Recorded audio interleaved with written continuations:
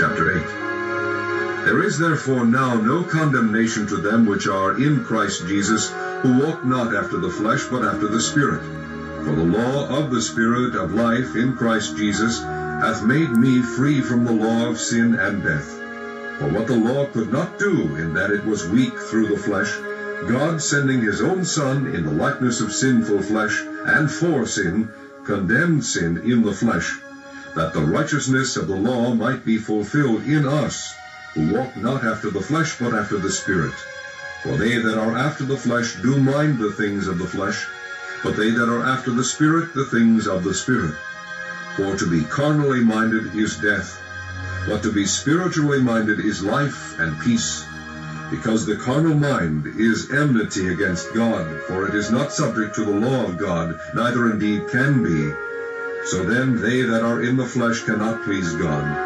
But ye are not in the flesh, but in the Spirit, if so be that the Spirit of God dwell in you. Now if any man have not the Spirit of Christ, he is none of his. And if Christ be in you, the body is dead because of sin, but the Spirit is life because of righteousness. But if the Spirit of him that raised up Jesus from the dead dwell in you, he that raised up Christ from the dead shall also quicken your mortal bodies by his Spirit that dwelleth in you. Therefore, brethren, we are debtors not to the flesh to live after the flesh. For if ye live after the flesh, ye shall die. But if ye through the Spirit do mortify the deeds of the body, ye shall live. For as many as are led by the Spirit of God, they are the sons of God. For ye have not received the spirit of bondage again to fear, but ye have received the spirit of adoption, whereby we cry, Abba, Father. The Spirit itself beareth witness with our spirit that we are the children of God. And if children, then heirs, heirs of God, and joint heirs with Christ, if so be that we suffer with him, that we may be also glorified together. For I reckon that the sufferings of this present time are not worthy to be compared with the glory which shall be revealed in us. For the earnest expectation of the creature waiteth for the manifestation of the sons of God.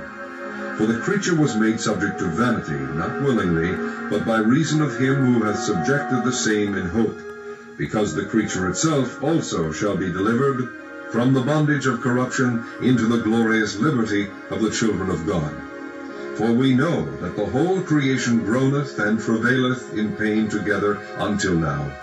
And not only they, but ourselves also, which have the first fruits of the Spirit, even we ourselves groan within ourselves, waiting for the adoption, to wit, the redemption of our body. For we are saved by hope, but hope that is seen is not hope. For what a man seeth, why doth he yet hope for? But if we hope for that we see not, then do we with patience wait for it. Likewise the Spirit also helpeth our infirmities, for we know not what we should pray for as we ought. But the Spirit itself maketh intercession for us with groanings which cannot be uttered. And he that searcheth the hearts knoweth what is the mind of the Spirit, because he maketh intercession for the saints according to the will of God. And we know that all things work together for good to them that love God, to them who are the called according to his purpose. For whom he did foreknow, he also did predestinate to be conformed to the image of his Son, that he might be the firstborn among many brethren. Moreover, whom he did predestinate, them he also called, and whom he called, them he also justified, and whom he justified, them he also glorified. What shall we then say to these things?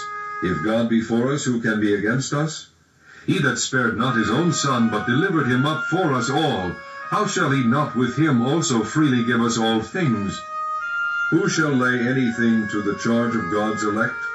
It is God that justifieth. Who is he that condemneth? It is Christ that died, yea, rather, that is risen again, who is even at the right hand of God, who also maketh intercession for us. Who shall separate us from the love of Christ? Shall tribulation, or distress, or persecution, or famine, or nakedness, or peril, or sword?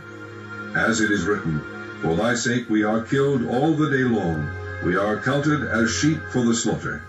Nay, in all these things we are more than conquerors through him that loved us. For I am persuaded that neither death, nor life, nor angels, nor principalities, nor powers, nor things present, nor things to come, nor height, nor depth, nor any other creature shall be able to separate us from the love of God, which is in Christ Jesus our Lord.